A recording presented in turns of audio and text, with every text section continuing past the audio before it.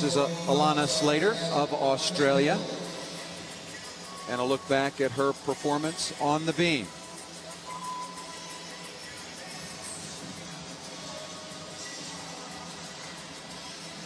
Australia had a very rough team competition and a rough qualifying competition.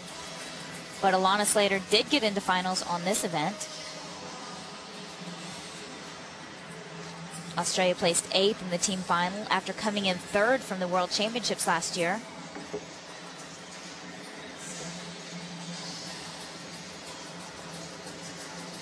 Seemingly, Allana's fate is that she could be the world champion on the balance beam, which she is uh, performing on right now, but she will always be connected with the vault because of what happened in Sydney, Australia. That's right. Allana Slater was the one who recognized that the vault was set wrong. She said, look, it doesn't feel right.